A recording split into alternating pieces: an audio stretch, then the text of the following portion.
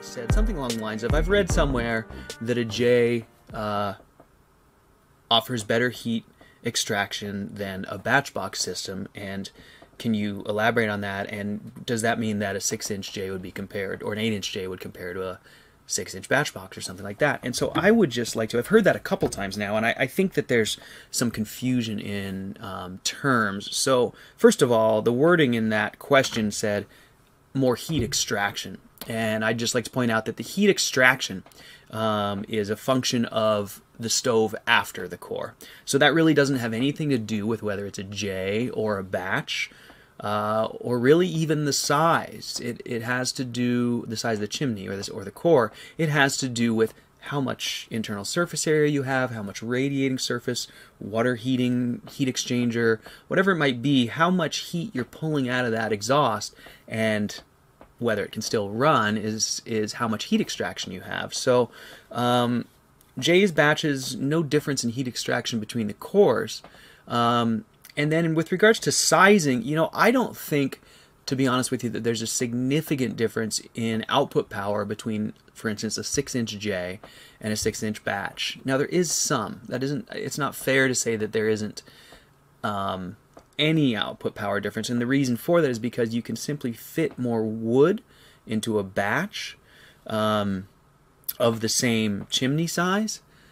However, the J is really meant to be continually fed. So it's not fair to just say we're going to burn them both for an hour and only load them both once because in that hour you really could have been sitting there and putting fuel behind the burning fuel of the in the J, which is how you're supposed to run it. You know, as the fuel burns, you slide it forward and slide more fuel in behind, and it should be basically continually fed, as it were.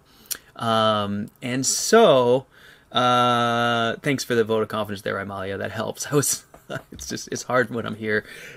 Ah. so, um, so anyways, with regards to sizing and output power, I believe that for all practical purposes from a design standpoint, like when you're looking at a system saying, well, I want this much heat in my house, should I choose this or this? I don't believe there's a significant difference between a batch and a J. Um, the biggest difference is really just how you run them. Like the batch, you'll put in your whatever it might be, 12 pounds of wood, and shut the door and walk away. The J, you'll have your 12 pounds of wood stacked next to it, and you might go three pounds at a time every 15 minutes or something like that.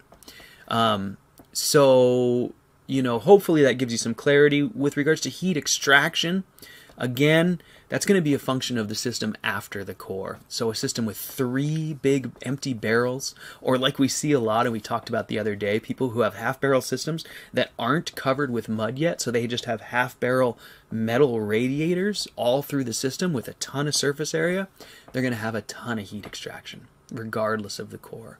So, uh, so hopefully that gives you some clarity there. I know I've heard that a few times, and I think, you know, sometimes the forums can be um, a little bit confusing because there's so many voices, and it's hard sometimes when you're new to be able to, um, you know, separate the the wheat from the chaff, as it were, and and so um, yeah, I, I, like I said, I've heard that a few times, and I think it's important. It's a good question. It's important that we get it cleared up because, uh, you know, definitely we hear those things a lot. People say, "Oh, I heard this one does this," and then it gets to be sort of a known thing. Um, we see that a few times in our in our short life cycle here already. We've seen some some poor technologies adopted because some loud voices said they were great, um, and we now are just kind of finally starting to get beyond those things. So, anyways, there there you go.